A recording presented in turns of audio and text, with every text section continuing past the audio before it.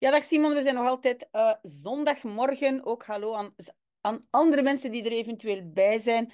Wat gaan we doen, Simon? We gaan een aantal oefeningen maken. Je hebt mij um, een aantal nummers doorgestuurd. Nu, wat, wat ik ga doen, is ik ga beginnen met de laatste oefeningen en dan zo een beetje naar boven toe werken.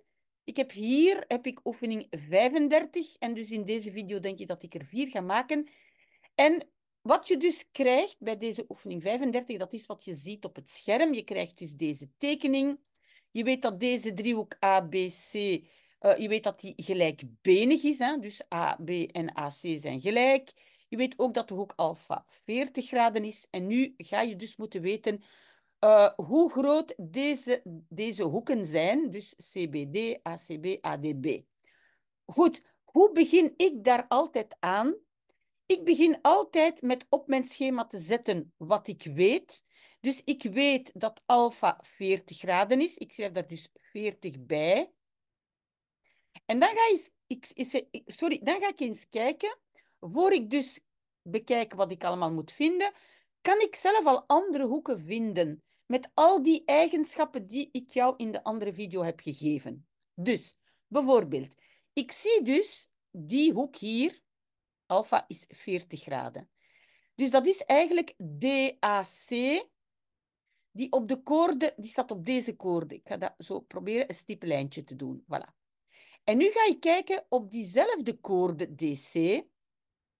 Staat er nog een andere omtrekshoek, want die gaat dan ook even groot zijn. En ik zie dat inderdaad, kijk, DBC, en zie je dat? Die staat ook op diezelfde koorde en die gaat ook naar de omtrek van de cirkel. Dat wil dus zeggen dat ik weet dat deze hoek, ja, die is dus ook 40 graden. Oké? Is er nog een andere? Nee, geen andere. Maar er is nog een eigenschap die ik weet. Als ik dus een omtrekshoek heb op die middellijn hier, hè, BD, hè, zie je dat? Als ik daar een omtrekshoek op heb, dan gaat die 90 graden zijn. Oké? Dus ik heb hier op die BD, zie heb ik deze hier. Ik heb dus BAD, zie je dat? Dus het totale hier, ik ga dat misschien zo aanduiden, dat totale hier, is 90. Schrijf niet goed. Oké? Ja, als ik weet dat die totale 90 is en die is 40, ja, dan gaat dat klein hoekje hier, of klein, hè, die gaat dan 50 zijn. Oké? Heb ik nog een omtrekshoek die op, um, die, op die middellijn staat? Um, ja, ik heb dus BCD, hè, zie je, die staat ook op de middellijn. BCD. Dus dat wil dus zeggen, Simon, dat, dat hier, dat totale, dat is 90 graden. Nu, ik weet niet of ik daar iets mee kan doen, Simon, maar ik probeer zoveel mogelijk erop te zetten. Oké? Nu is er nog iets, misschien was je dat vergeten, want dat staat niet in je eigenschappen en dan moet je dat er ook misschien toch wel bij zetten, dat je daar aan moet denken. Je wist dat al van vroeger, dus de som van de hoeken van een driehoek, weet je nog hoeveel dat, dat is? Dat is dus 180 graden. Dat weet je dus. Allemaal samen zijn ze 180. En je weet ook dat dus die een ABC van in het begin, hè, dat was, je wist dat, ze hebben dat, jou dat gegeven, die is gelijkbenig. Dus AB, AC, twee gelijke benen. Als hun benen gelijk zijn, dan weet ik dat ook die onderste hoeken van die gelijkbenige even groot zijn. Dat wil dus zeggen dat die hoek B, ik ga dat misschien, ach, hoe ga ik dat nu doen? Zo, gelijkbenig. Uh, de, de hoek gelijk, sorry, en die. Ik zet daar zo twee van die krulletjes in. Oké? Goed. Ik weet dus, die hoeken zijn even groot. Ik weet dat van die driehoek ABC de top is 50. Dus als ik nu doe 180 min 50, dan heb ik 130. Dus die twee onderste hoeken, dus de hoek B plus die hoek C, ik weet dat die samen zijn die 130 en ze zijn even groot. Dus dan weet ik dat één hoek bijvoorbeeld B is de helft daarvan. Dat is dan 50 plus 15, dat is 65. Dus ik weet, ik heb hier 65. Ga ik dat daar nu hierin zetten? En heel dat spul samen is ook 65. Oké, heel dat spul samen. Oké, niet dat kleintje hier. Oké, ik heb er nu al heel veel in gezet. Ik ga nu eens kijken. Wat moet ik weten? Ik moet de hoek CBD. Waar ligt die? CBD. Dat is dus een deze hier. Ah, die had ik al. 40. Dat heb ik dus al gevonden. Dat is gelijk aan 40 graden. Dan de hoek ACB. Even kijken. ACB. Ah ja, dus die onderste hier, eigenlijk hoek C, als ik het zo mag zeggen. Ja, dat heb ik ook gevonden. Dat was dus 65 graden. En dan moet ik nog hebben ADB. ADB. Ah ja, die hoek D hier, ADB. Ja, die is... Is dat correct? Die 90, nee, die 90, die was daar. Dat is 90. Ah, maar kijk eens. Dus ik zit in die driehoek ADB. Ik ga hem even hier tekenen. Hè. Dus ADB, hè, zo. Dus ik weet dat deze hoek 90 is. Ik heb dat daar op aangeduid. Hè. Ik weet dat dat kleintje, hier, de die, ja, dat is dus 65 min 40. Want ik weet, dat is 65 en die is 40. Dus de die hier is dan het verschil 25. Dus hier, die is 25. Ja, en ik weet dat ze allemaal samen 180 zijn. Dat had ik hier dus geschreven, niet vergeten. Som van alle hoeken in een driehoek is 180. Uh, dus 180 min 115. 180. Ik ga daar die twee hoeken aftrekken. 115 is toch correct wat ik zeg, hè? Hoeveel is dat dan? Uh, 65. Dus die hoek ADB is 65 graden. Nu, het zou kunnen, Simon, dat jij op je toets er elke keer moet bijzetten waarop het gebaseerd is. En dan zet je elke keer, oké, uh, omtrekshoek op dezelfde koorde. Uh, dat kan zijn, som van de hoeken is uh, eh, 180 graden. Dat kan zijn een omtrekshoek op de middenlijn is altijd 90 graden. Dus die eigenschappen, Simon, moet je echt heel, heel goed kennen. Oké? Goed, um, ik ga nu naar oefening 34. Oké, Simon, ik ben hier dus in uh, oefening 34. Je krijgt gegeven de hoek M. Ja, en als je dus over hoeken spreekt, niet vergeten om dat, om dat hoedje daarop te zetten, Simon. Um, als je spreekt over een hoek. Dus die hoek M is 140 graden. Ik heb die hier aangegeven.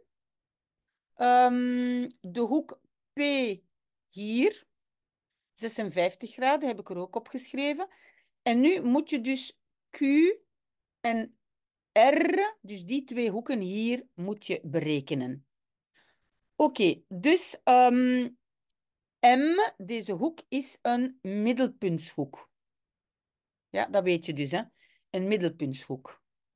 En Q is een omtrekshoek. Zie je dat? Deze gaat door het middelpunt, dat is een middelpuntshoek. En de hoek Q is een omtrekshoek op, op, eh, op RP. Oké? Ik ga dat even noteren, want ik denk wel dat je dat moet opschrijven. Dus M is middelpuntshoek. Middelpuntshoek. En Q is omtrekshoek omtrekshoek. Weet, je weet nog wat dat is, hè, Simon? Omtrekshoek. Oké, en dus die zitten allebei zitten die op koorde. Welke koorde? Hier op die koorde RP. Zie je dat? Hier, wacht, ik ga dat misschien met een stippenlijn doen. Voilà, op koorde RP. Oké, als je dat weet, dan mag je dus, en dat is dus ook een van de eigenschappen, dat wil dus zeggen dat Q gaat de helft zijn van je middelpuntshoek. Maar nu moet je echt heel, heel goed uitkijken, want daar kan je echt wel een fout maken. Dus um, je, hoe groot is um, je Q dan? Q is gelijk aan 1 tweede, maar je hoek is wel deze kant hier, Simon. Niet die binnenkant. Oké, niet die binnen, want dan zijn, dat, zie je, dan zijn die zo overstand. Dat is wel deze hoek. En deze hoek die is dan 360, de totale cirkel, min die 150. 360 min 140, zei ik 150? Ik bedoel 140, hè. Dat is dus 220. Dus die hoek hier is 220. En Q, die hoek Q, is wel de helft van die hoek. Die buitenkant, niet die binnenkant. Oké, ik, hoop, ik hoop dat dat duidelijk is. Dus de helft van 220. Ehm, dus voilà, 220 is gelijk aan. Dus de helft daarvan is 110. Als je dat niet goed snapt, uh, Simon, bekijk dan goed die oefening en misschien ga je het dan weten, van buiten weten uh, op, het, uh, op de test, maar dat je je echt niet ver, ver, um, ver, verward of vergist van hoek. Oké, okay, dus wat hadden we? Q hier, deze is 110. Dat is al een van onze antwoorden. Um, en dan, ja, je moet dan nog R, dus Q hebben we al. Dan moet je nog R vinden. Maar je weet dus ook, Simon, dat is ook weer zo'n regeltje, misschien was je het vergeten, maar dus alle hoeken samen van een vierhoek, die zijn 360 graden. dus misschien moet je dat dan ook ergens noteren.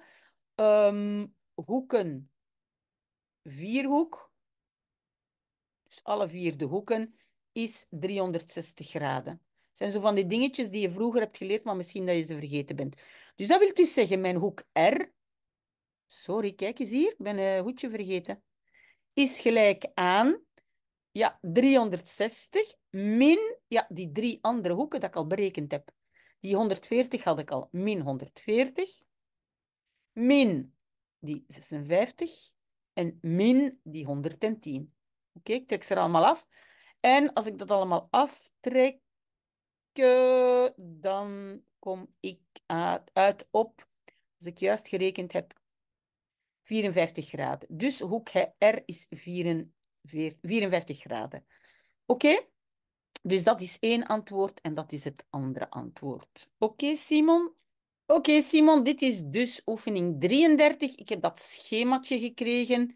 Ja, waarom zetten ze daar soms die 1, 2 enzovoort bij? Dat is ja, soms heb je, uh, zie je die hoek C1, uh, dit is misschien C1, C2, C3, omdat die in stukjes verdeeld is. En dus hier, als dat een 1 is, willen ze zeggen alleen dat stukje, maar ik denk dat je dat weet. Hè? Dus wat krijgen we gegeven? De hoek A hier is 56 graden. Ik heb het er al ingeschreven. Oké, en dus, ja, je begint dus daar, want dat heb je. Die 56 Um, dus je weet dat dat de hoek is tussen CAB. En dat is dus een omtrekshoek die op die koorde BC staat. Zie je dat? Dat is jouw koorde, hè? BC. En je hebt daar dus één omtrekshoek op. Nu gaan we eerst kijken, uh, is er nog een andere omtrekshoek daarop? Vinden we nog een andere omtrekshoek op diezelfde koorde? En ik zie toch wel, ik heb, um, ja, ik heb BDC, die staat ook op diezelfde koorde. Akkoord? Dus voor mij, die D hier, zelfs al lijkt dat niet zo, heb ik dat niet goed getekend, is ook 56 graden. Oké, dus dat heb ik al. En nu moet je kijken, en dat is echt wel heel moeilijk te vinden, Simon, maar je moet dus altijd kijken, als je één koorde hebt, hè, hier dus BC, heb ik dan een omtrekshoek? Ja, dat wist ik al. Maar heb ik daar ook een middelpuntshoek op? Ja, kijk deze hier.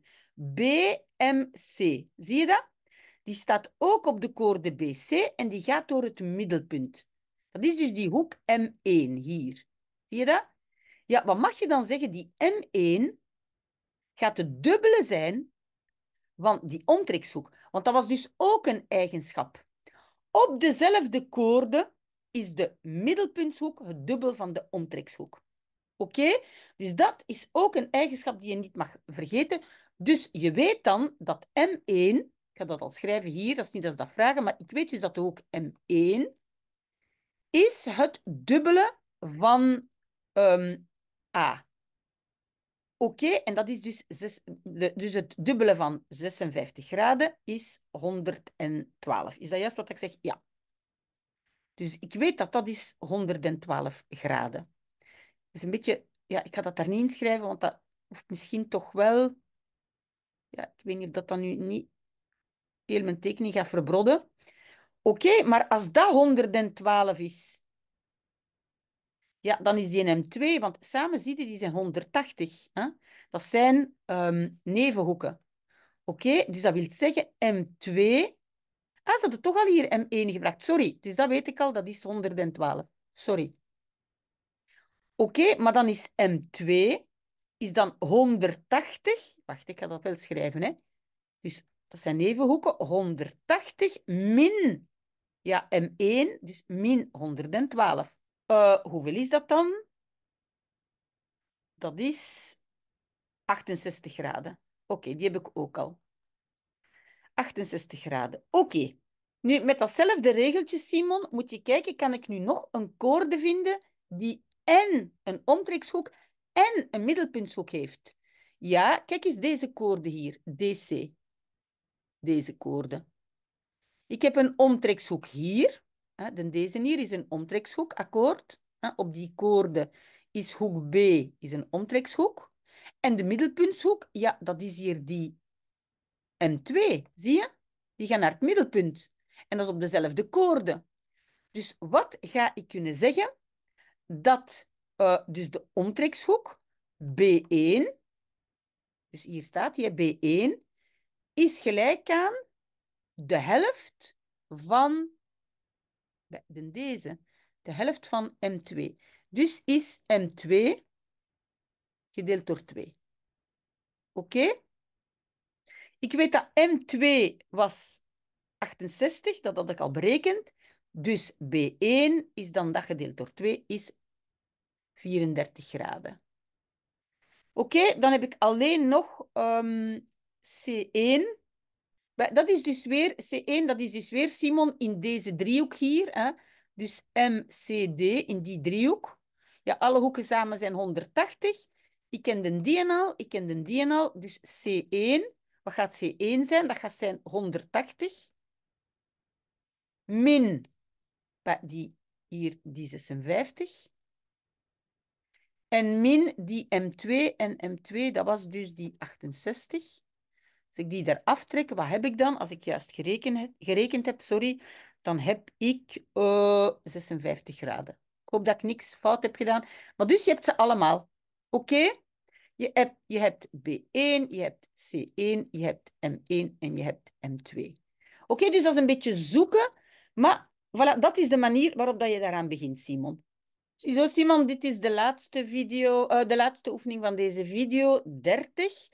Oké, en dus dat, krijg, dat heb je allemaal gegeven. Je weet ook dat B1 is 78 graden, C1 is 45.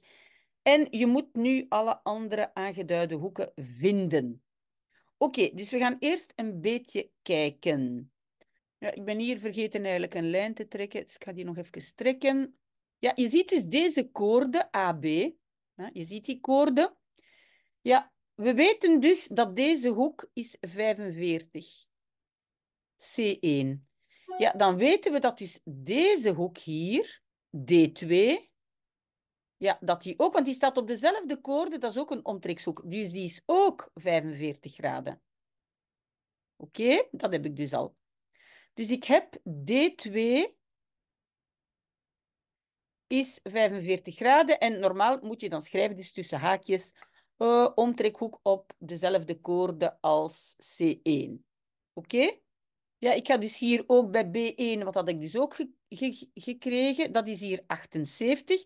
En nu ga ik eens kijken, heb ik nu nog... Um, dus ik heb de koorde DA, en dus die B1 staat daarop. Dus die B1 is 78. Ik ga nu kijken, heb ik nog een andere omtrekshoek op die koorde? Ja, ik heb dus deze hier. Zie je?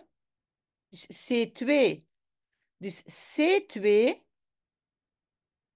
is ook 78 graden. En je kan dan weer schrijven omtrekshoek op dezelfde koorde als B1.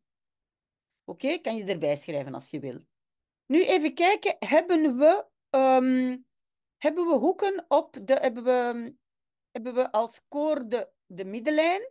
Dus hier CA is ja, de middellijn. En als ik daarop een omtrekshoek heb, dan is die 90 graden. Dus ik weet dat dus die totale hoek B, totale hoek is 90. Hè? Want je schrijft dan um, omtrekshoek op de, um, op de middenlijn. Oké? Maar ik weet dat die in B1 78 is. En ik weet dat ze samen 90 zijn. Ja, dan is B2 dat verschil, hè, Simon. Dus ik kan dan schrijven B2 is dus die 90 graden min, hoeveel was het? 78. En hoeveel is dat? Uh, eh, 12. Is dat juist wat ik zeg? Ja, 12 graden. Oké, wat blijft er dan nog over? Heb ik dan op diezelfde koorde CA nog een andere? Ja, dus ik heb op CA heb ik ook, bij deze hier is ook een omtrekshoek. Dus die totale hoek D is ook een omtrekshoek op de middenlijn. Dus hier, dat totaal hier, dat gaat 90 zijn. Ja, als dat totaal 90 is, ja, dan is die hoek D1 45 graden. Oké, heb je dat gezien hier? Dus, dus die CA mijn middenlijn en ik heb dus naar D toe hier, hè, dat moet 90 graden zijn. Dus omtrekshoek op de middenlijn. Dus D1 is gelijk aan ook 45 graden. Dus de rest van die 90. Wat ontbreekt er dan nog? Uh, wat heb ik nog niet? Ik heb nog niet de A-hoeken, denk ik. Ja, dus als ik hier... Ik ga beginnen met A1. A1. Dus die hoek A1 heeft dit als koorde, CD. Oké, zie je dat? Voilà, A1. Dus A1 is dan even groot als, kijk eens, hier. Dus op dezelfde koorde. B2 staat op dezelfde koorde. Oké? Dus A1 is gelijk aan B2. Hadden we B2? Uh, eh, ja, dat was 12 graden. Dus um, A1 is ook 12 graden. Dan moeten we alleen nog A2 vinden. A2 staat op welke koorde? A2 staat op de koorde BC. Dus BC staat op dezelfde koorde als D1, dat hoekje hier. Zie je dat? Dat hoekje hier. Die koorde is BC, akkoord? En dus die hier staat erop en um, A2. Dus ik kan zeggen A2, de hoek A2, is gelijk aan de hoek D1. Hebben we D1 al? Ja, 45 graden.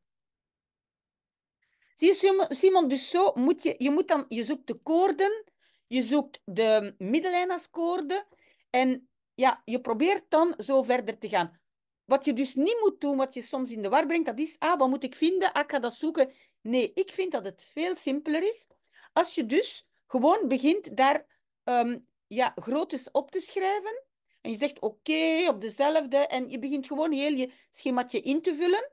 En dan op het einde check je, wat heb ik nog niet. Oké, Simon, als er nog vragen zijn, stel ze maar. Maar in elk geval, ik hoop dat dat al geholpen heeft. Voilà, een hele fijne zondag.